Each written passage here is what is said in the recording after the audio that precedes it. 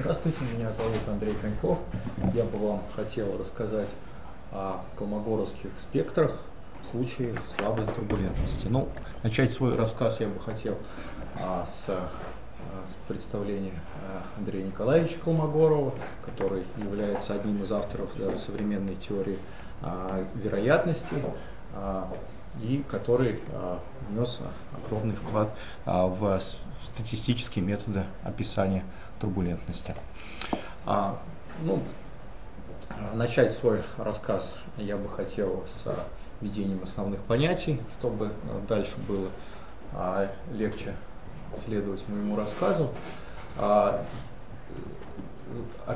Значит, здесь в рамках как случайных волн вводим а, соответствующую гармоническую зависимость для случайно движущейся поверхности.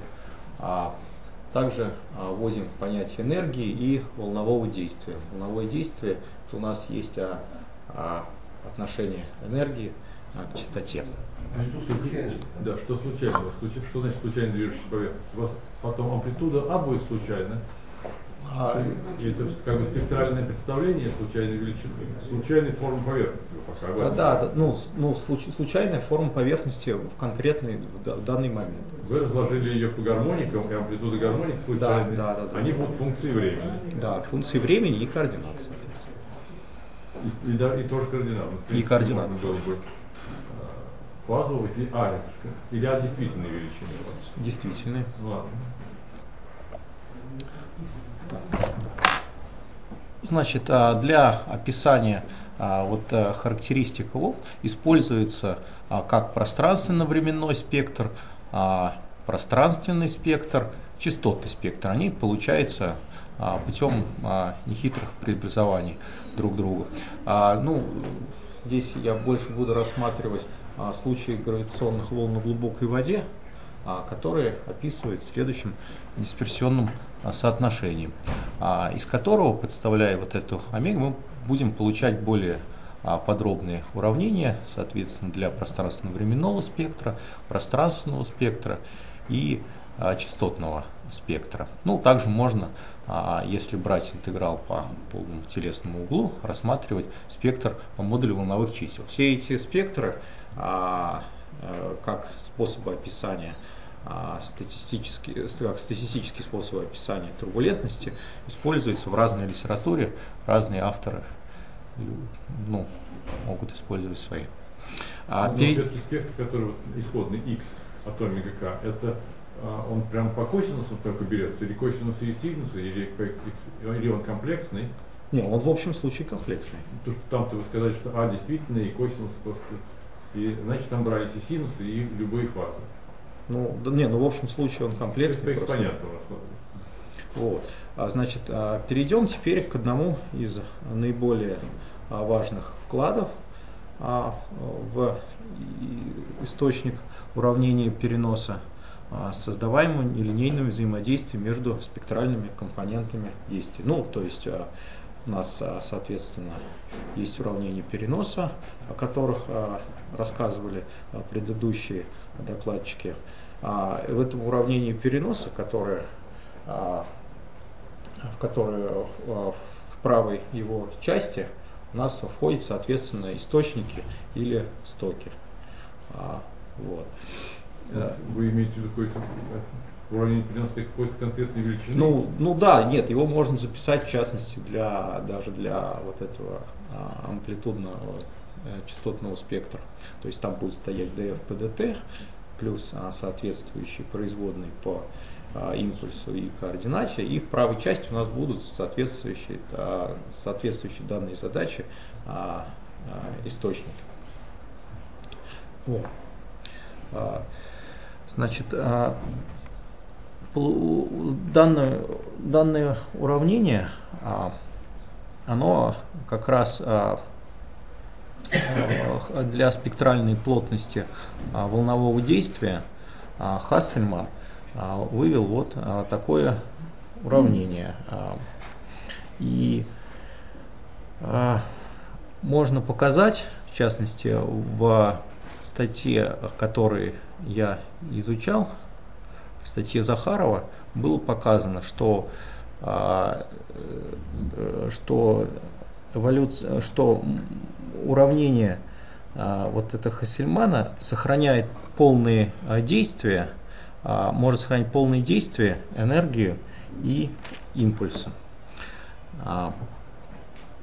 Известно, что вне интегралов накачки и диссипации спектры а, слабой турбулентности, описанные кинетическим а, уравнением вот этого Хассельмана, а, определяются потоками сохраняющихся, сохраняющихся величин действия, энергии и импульса. А там всем, всем было понятно обозначение дельта функции вот, в предыдущем слайде, что значит 0 плюс 1 минус 2 минус 3. Это имеется в виду Это здесь, а, здесь многоволновое взаимодействие. Это просто волновые числа. Да, здесь вот под этим, под этим Т там кроется корреляционный момент третьих и четвертых порядков, то есть это такая а, а, громоздкая а, структура, которую вот для удобства объединяет а, в один коэффициент. Он описывает а, то есть это четырехволновое. Четырех, здесь четырехволновое взаимодействие. N большой 1, а, э, нет, это а спектральная плотность, спектральная плотность волнового действия. Вот действие полное, оно как разложили по спектральным гармоникам. Вот интеграл от n по dk1. Вот n это как раз. А в левой части какой индекс можно А в левой части там просто dt, там нет индекса. У вас есть n1, n2, n0, n3, а dt что такое n? А, это имеется в виду а, в полной, полной системе спектральной То есть, то есть N1 это N1 Да, ну да, то есть если рассматриваем... А, Подождите, как то N должно быть зависеть от ноликом. N, N с ноликом у вас как значение. Да, что Саша правильно говорит. Ну, у вас же ведь все вот эти ну, 0, значит, 1, 2, 3 это функции от К. Значит, там тоже N с ноликом должно быть. N с ноликом, да, извиняюсь. А тут дельта функции стоят под интегралом, это дельта функция от k0 плюс k1 минус k2 минус k3. Это синхронизм. Да, это просто условие синхронизма.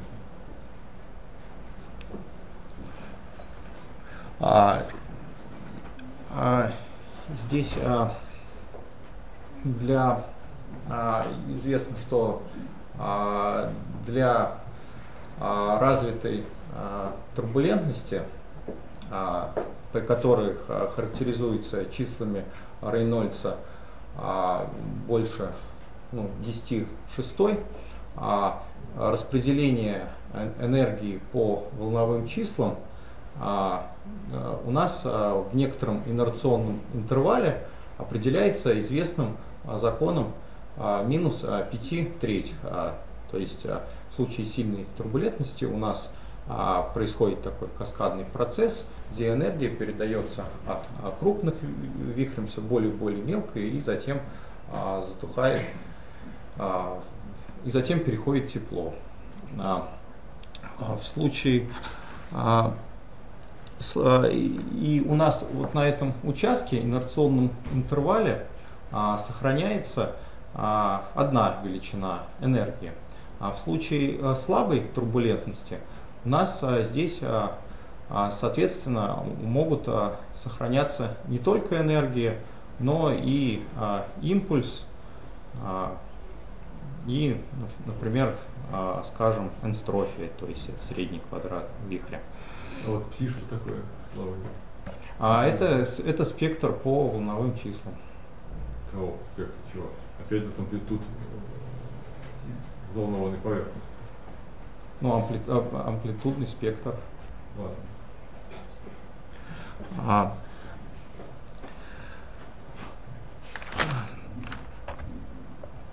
соответственно, а, а, сохранение а, а, все а, зависимости а, для спектра, а, для вот этих колмогоровских спектров слабой турбулентности, они а, могут а, быть а, получены из соображений размерности.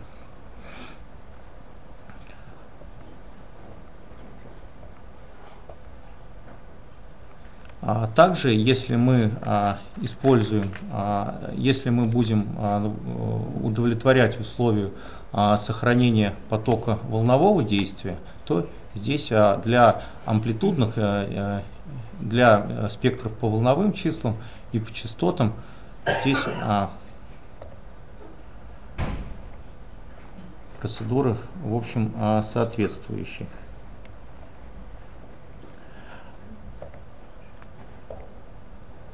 А, а, цирку... Теперь ну, пару чтобы слов. получить все эти спектры, значит, не требовалось закон минус 5 третий. Нет, закон минус 5 третей это для сильной, для развитой а там минус турбулентности. 10 третьих. было. Да, здесь, а, здесь там а, в ходе вот как раз а, а, вот как раз Захаров получил а, этот самый закон а, минус 10 третьих. И, но вот этот закон минус 10 третей в анализе размерности он используется уже. Да, да, да, он используется. Без него все остальные без, без него, не без него все остальные э, выражения а, ну, не, не получить. А теперь а, вот как раз а, пару слов о применении, когда у нас а, использу- когда у нас используются эти колмогоровские спектры а, слабой турбулентности. А, а, циркуляция а, земной атмосферы а, и океана, усредненная по большим пространственным масштабам, будет представлять из себя такое квазидвумерное движение, то есть колмогоровские спектры слабой турбулентности, они описывают, они, могут, они применимы к описанию в общем случае таких а, квази, а, здесь рассматривается двумерная турбулентность. А, а, И циркуляция земной атмосферы, она а, характеризуется синаптическими вихрями волн Росби, более известных как а, циклонов и антициклонов, а также тесно связанными с ними а, зональными ветрами. И турбулентные движения, существующие в атмосфере, служат причиной генерации а, вихрей и зональных течений.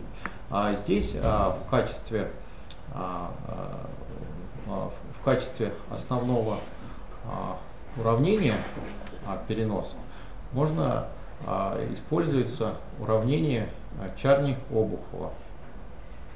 А далее, если ему соответствует а, а, приведенное чуть ниже динамическое уравнение. А, Здесь, а, здесь рассматривается, ну сразу, чтобы предотвратить вопрос об индексе, здесь рассматривается трехволновое взаимодействие. Вот этот а, э, радиус РР это у нас а, радиус а, Росби, а, Росби Обухова, который а, сопоставим с а, радиусом а, Земли. А, Таким образом записывается спектральная плотность энергии, а через нее выражается а, волновое действие. Можно ввести также Ну, а исходно P вот в уравнении Черни-Обухова, для, для какой величины это для давления, это от- э, здесь P с крышечкой, это у нас безразмеренная величина давления.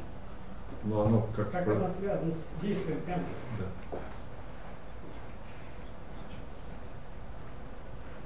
Есть кинетическое уравнение для числа частиц n. А теперь как от n перейти к p. Ну, через а, волновое действие, четвертая строка. Для компонента. Вот ПК это этот компонент, а надо проинтегрировать. Там для полной величины P и в первой строке, а во второй строке для полной величины N. Что? Что что?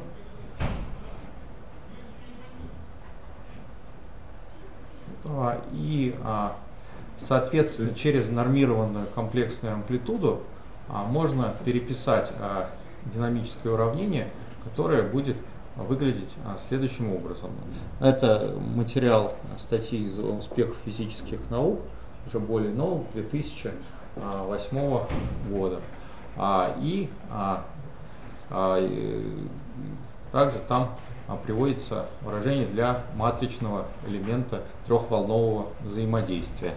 Далее там рассматриваются два основных случая. Это коротковолновая турбулентность. Ну, по результатам опытных данных установлено, что вот это волновое число по Y, где Y у нас берется в направлении к ближайшему полюсу Земли, а X с запада на восток, то у нас захват, что у нас вот эти явления, которые определяются переносом вещества, вот это волновое число по Y существенно превышает kx. Это по опытным данным. А, соответственно, используя эти приближения а, и а, подставляя а, их а, в а, матричный а, коэффициент взаимодействия, а, а, мы получаем а, а, энергетические, а, мы получаем а, спектры по волновым числам, которые вот а, у нас вот это ЕК КХ минус 3 вторых, КY минус вторых а, является а, спектром по энергии, и который пониже это спектр а, по а, энстрофии, то есть а, квадрату вот этого а, вихря. А, ну, в изотропном а, приближении у нас а, если рассматривать изотропное приближение, то здесь а, у нас а, будет а, возникать спектры для энергии энстрофии, соответствующие показатели минус 7 вторых и минус 9 вторых. Также интересен случай и длинноволновой турбулентности, которых путем аналогичных аналогичных умозаключений а, переходим к спектрам для, а, спектрам для волновых чисел, а, энергии и энстрофии.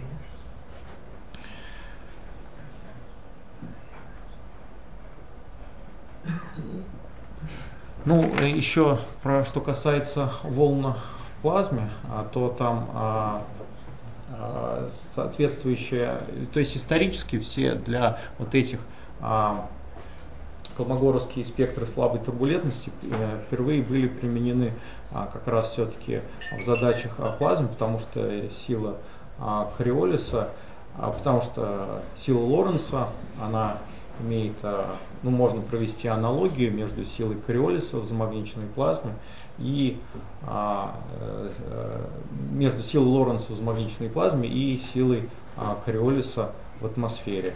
И а, с помощью а, как раз этих а, колмогоровским спектром были а, также объяснены аномальный перенос тепла и частиц а, в поле, поле да, поперек а, направлению магнитного поля.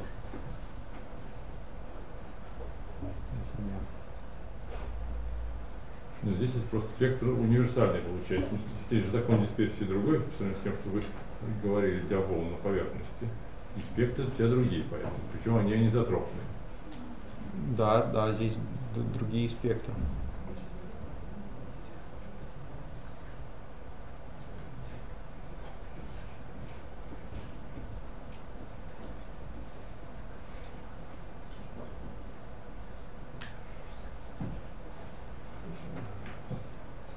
И результат не зависит от того, какие там были градиенты э, общего течения. Да? Ведь это же в течение все равно, а, оно по z, по высоте проинтегрированное, но оно зависело от, как бы от градиента, на самом деле, но, это, это Нет, здесь порассматриваем, здесь порассматриваем случай а, э, как бы ну, баротропной атмосферы. И а, а, здесь у нас ну, больш, большой, больший вклад э, вносит именно а, просто масштабы, масштабы вот атмосферы, они много меньше масштабов а, вот этих а, зональных ветров и волн розли. Поэтому здесь это, а, э, этот координат как бы вырождается. У нас, ну вообще, сла, колмогоровские спектры слабой турбулентности, они, а, так скажем, имеют а, квазидвумерный, а, что ли, в отличие от э, сильной турбулентности, квазидвумерный вид. Ну, эта задача понятна, потому что это проинтегрировали, получается, этого масштаба нет. Ну, это фактически просто пример, как можно применить давнишние плавные задачи к... Да, то есть это вот совсем недавняя статья 2008 года. Вот. А, а в плазме это все Хотя я не уверен, по-моему, там закон дисперсии немножко отличается.